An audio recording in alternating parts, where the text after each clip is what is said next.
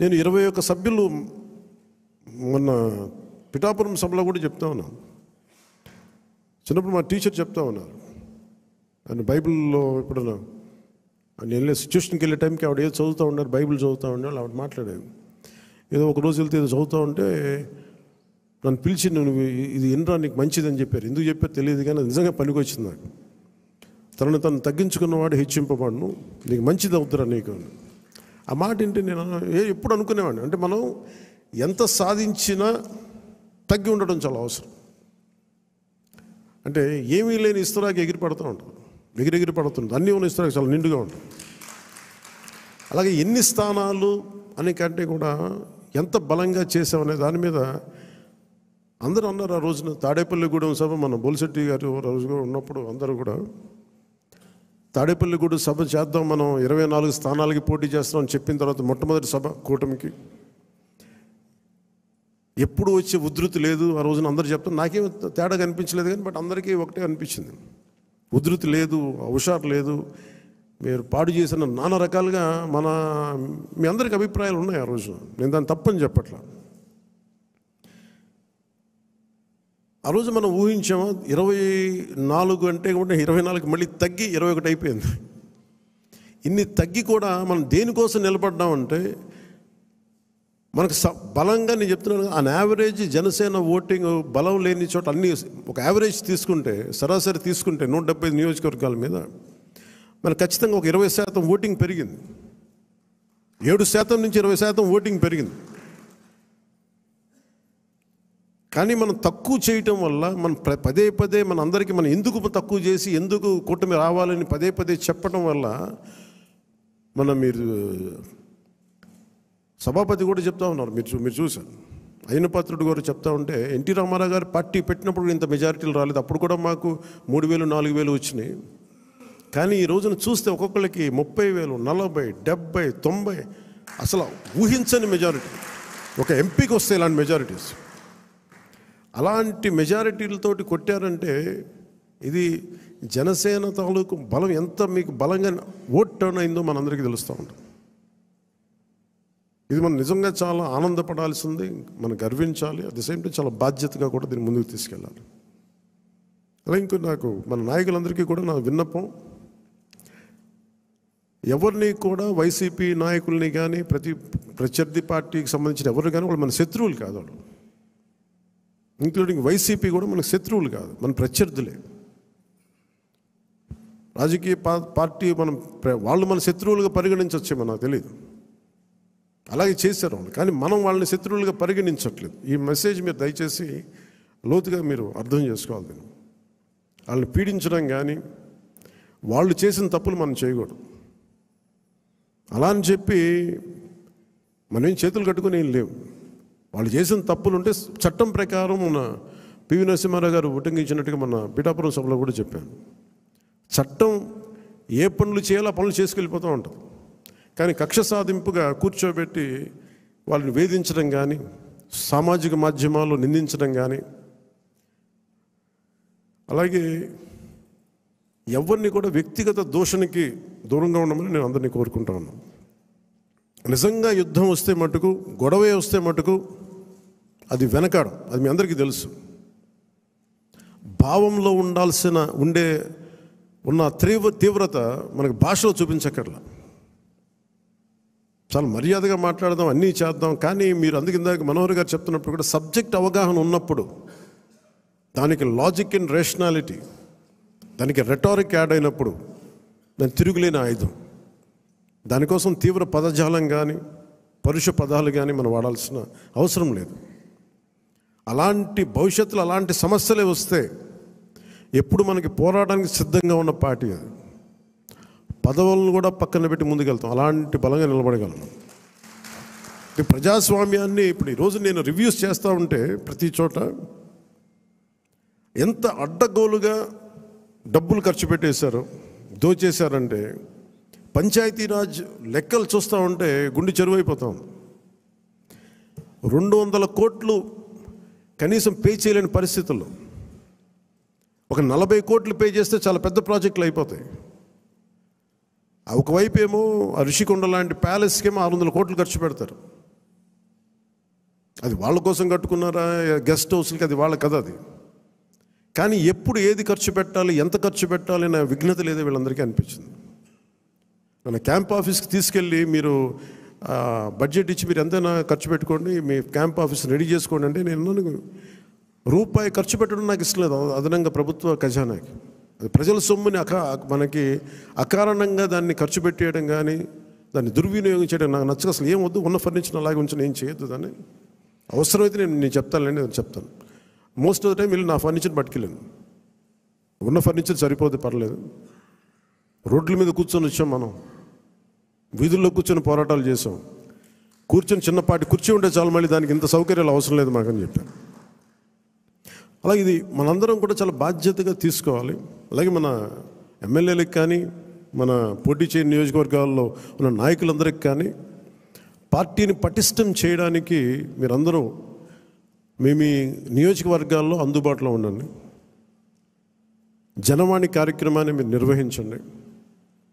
అలాగే కేంద్ర కార్యాలయానికి కూడా నేను ఒకటే మన అందరికీ హరిప్రసాద్ గారి ద్వారా విన్నవించాను. ప్రతి ఒక్కరు కూడా కేంద్ర కార్యాలయంలో ఒకరోజు మీరు ఉంటారు మీరు ఉండాలి. అది మీకు తెలియజేస్తాం ఉంటే ఏమవుతుందని మీరు వచ్చి ఒకళ్ళు ఉన్నప్పుడు ప్రజలకి మనం మరింత చేరువవుతాం వాళ్ళ కష్ట నష్టాలు తెలుసుకుంటాం.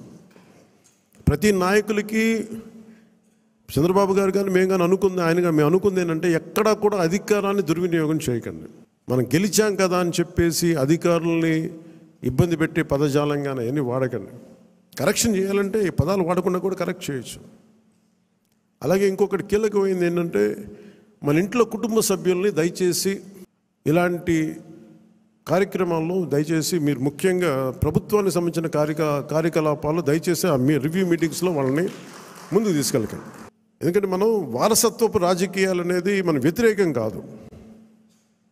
కానీ జనం మీద రుద్దేయకూడదు సహజంగా ఇంట్లో ఒక్కొక్కళ్ళు సంప ఒక్కొక్కరికి కెపాసిటీ బిల్డింగ్ లీడర్షిప్ బిల్డింగ్ కూడా సహజంగా ఎదగనివ్వండి. ఆ అట్మాస్ఫియర్ ఉండాలి అని కోరుకుంటాం ఇవ్వాలి.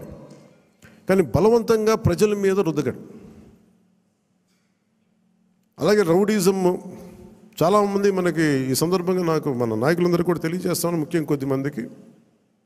అది మీకు అర్థమవుతుంటుంది నేను ఎవరి గురించి మాట్లాడతాను. రౌడీజం దయచేసి మీరు నమ్మకండి. ముఖ్యంగా మన నాయకులు కొద్దిమంది చెప్తున్నాను దయచేసి రౌడీజాన్ని నమ్మకండి.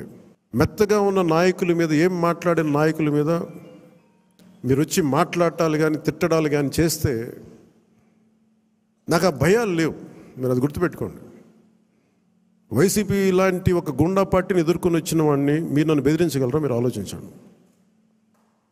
కొంచెం లోతుగా మీరు అధ్యయనం చేయాలి దాన్ని. ఎందుకంటే మాట కావాల్సిన సంస్కారం కావాలి ఇక్కడ. మీరు కూర్చోబెట్టి బెదిరించేసి సామాజిక మాధ్యమంలో మన నాయకులు మీరే తిడతా ఉంటే నేను మిమ్మల్ని వదులుకోవడానికి సిద్ధంగా ఉంటాను గుర్తుపెట్టుకుని గుర్తుపెట్టుకోండి. అది మీరు నాకు ఎంత లాయలిస్టులు వ్యక్తిగతంగా అయిన అయినప్పటికీ కూడా మీరు నా కమిటెడ్ లాయలిస్టులు అయినప్పటికీ కూడా ప్రజాస్వామ్యానికి విఘాతం కలిగించిన రౌడిజం చేసిన నేను వదులుకోవడానికి సిద్ధంగా ఉంటాను. దయచేసి దీన్ని మీరు మంచి మనసుతో అర్థం చేసుకోండి. అది నేను మాట్లాడినప్పుడు ఎందుకు చాలా తీవ్రంగా ఉంటుంది. చాలా గట్టిగా మాట్లాడతాను. ఒక దయచేసి దీన్ని మీరు లోతుగా తీసుకొని ముఖ్యంగా మహిళా నాయకురాలను ఎవరన్నా సరే సామాజిక మాధ్యాల్లో కించపరిచిన ఒక మాట అన్నా అజయ్ గారికి కూడా చెప్తా ఉన్నాను ఈ సందర్భంగా. చాలా ఫామ్ యాక్షన్ తీసుకోండి సార్ మీరు. నేను ఈరోజు అందరి ముందు చెప్తున్నాను. You have all the right చాలా ఫర్మ్గా చెప్పండి. మనందరినీ మనం సంస్కరించాలి అనుకున్నప్పుడు మనమే సంస్కారహీనంగా మాట్లాడితే ఎట్లా? అలాంటి వ్యక్తులని మీరు చాలా బలంగా మీ నిర్ణయం తీసుకోండి. మీ నిర్ణయం వెనక నేను ఉంటాను. అవకాశం ఇవ్వండి మారటానికి. తప్పదు అనుకున్నప్పుడు మీరు పార్టీలో నుంచి కూడా మీరు వెళ్ళిపోవాల్సి వస్తే వెళ్ళిపోనివ్వండి. ఇబ్బంది పడద్దు. ఎందుకంటే ఇది మనం చాలా కమిటెడ్గా ఇచ్చిన విషయం ప్రజలు ఇది. ఎప్పుడు ఓట్లు వేయని వాళ్ళు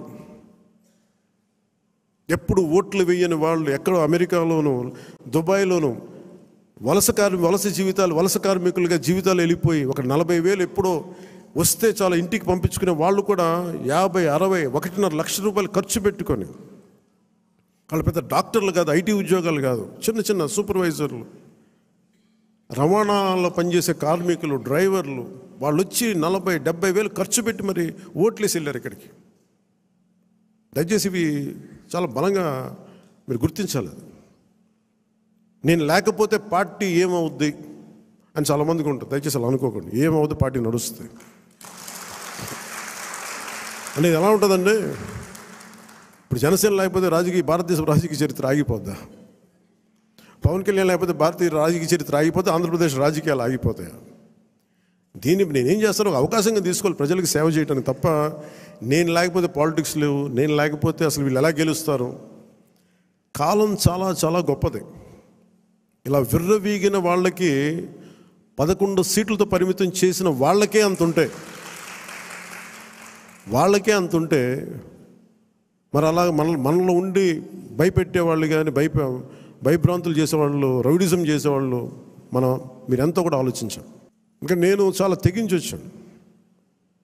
ఒక పార్టీ నేను నడుపుతున్నానంటే చాలా చాలా తెగించుంటే తప్ప ఒక పార్టీ నడపలేను. నేను కమిటెడ్గా ఉన్నానంటే నా వెనక ప్రతిరోజు చెప్తాను సరదాగా చెప్పను నేను. ఇరవై నాలుగు గంటలు బతకడానికి నేను ఉంటాను అంతకుమించి ఇంకా నా దగ్గర భవిష్యత్తు కూడా పెద్ద ఆలోచించను నేను. అలా అంత బలంగా నేను ఉండబట్టే ఈ రోజున జనసేన ఆంధ్రప్రదేశ్ ఐదు కోట్ల మంది ప్రజలకి భూతం అవ్వడమే కాకుండా ఎన్డీఏ కూడా బలం అయిపోయింది మనం గెలిచిన అన్ని సీట్లు. అది ఇవన్నీ ఎందుకు చెప్తున్నానంటే నేను అంత తెగించి ఉన్నాను. నా దేశం కోసం నా సమాజం కోసం. దయచేసి దాన్ని అందరూ దృష్టిలో పెట్టుకోండి. ఎవరైనా సరే ఇలాగ మనలో భయపెట్టేవాళ్ళు రౌడిజం చేసేవాళ్ళు విర్రవీగేవాళ్ళు కూడా ఒకటే మాట ఏంటంటే నా వెనక నాలాగా కమిటెడ్గా ఏ స్వార్థం ఆలోచించని జన సైనికులు వీర మహిళలు అనేక మంది ఉన్నారు. వాళ్ళు మామూలు వాళ్ళు కాదు వాళ్ళు ఎవరు. వాళ్ళు ఏం ఆశించరు. పని చేసి మళ్ళీ కనిపించిన కూడా కనిపించరు. ఎక్కడెక్కడ విదేశాల్లో ఉంటారు. మొన్న వెళ్తే మన అంబానీ గారి మ్యారేజ్కి వెళ్తే జాతీయ జన ఆచి అని వీళ్ళు ఇదే చెప్తారు మీరు భారతదేశానికి మీరు చేసింది మామూలు కాదు. మీరు సనాతన ధర్మాన్ని బలంగా నిలబెట్టారు మీరు. అంటే మీరు సినిమాల్లో ఉండి సూపర్ స్టార్డం సాధించి రాజకీయాల్లో మలుపు తిప్పే రాజకీయం చేసి ఇవన్నీ తగ్గి మీరు నిలబడగలరు చూసారా? అందుకు మిమ్మల్ని ప్రేరణగా తీసుకోవాలని చెప్తా ఉంటే నేను చెప్పాను ఇది ఇది గొప్పగా నేను మాట్లాడట్లేదు కానీ నేను ఇంత బాధ్యత నేను నడిపిస్తున్నానని చెప్తున్నాను ఇది సో ఇలాంటి నాకు దయచేసి క్రమశిక్షణ రాహిత్యంతో దయచేసి నాకు తలపోట్లు తీసుకురాకండి. ఎందుకంటే నేను నా రక్తాన్ని కూడా పక్కన పెట్టేయగలను గుర్తుపెట్టుకోండి. నా కుటుంబాన్ని కూడా పక్కన పెట్టేస్తాను. నేను జనం కోసం అయితే నా కుటుంబాన్ని కూడా పక్కన పెట్టేస్తాను. అలాంటిది నా సొంత బిడ్డలతో సహా పక్కన పెట్టేయగలను. నేను అంత నిస్వార్థంగా అంత గట్టిగా ఉంటాను. ప్రజాక్షేమం కోసం ప్రజాస్వామ్య పరిరక్షణ కోసం నేను అంత బలంగా ఉంటాను. అందుకని దయచేసి అందరూ కూడా నన్ను ఏదో తిట్టేస్తే భయపడిపోతాను. నేను లేకపోతే ఇక్కడ గెలవం. పంచాయతీ ఎన్నికలు రావచ్చు మున్సిపల్ ఎన్నికలు రావచ్చు నా సత్తా ఏంటో అనుకునే వాళ్ళందరికీ కూడా ఏంటంటే సంతోషం. నేను అక్కడ దెబ్బతింటానికి సిద్ధంగా ఉంటాను తప్ప కాంప్రమైజ్ అవ్వడానికి నేను సిద్ధంగా ఉన్నాను. ఏం పోద్ది చెప్పండి నాకు? ఈ రోజున ఇరవై ఒక మంది ఎమ్మెల్యేలు రెండు మంది ఇద్దరు ఎంపీలు అయ్యారు ఇవన్నీ గెలవకపోతే ఏమన్నా అయిపోతాం ఫలితాలు ఇంకొకలా వచ్చింటే ఇలాగ ఉండేవాడిని. ఏం మారేది కాదు. అందుకని దీన్ని దయచేసి అందరూ పెద్ద మనసుతో అర్థం చేసుకోండి.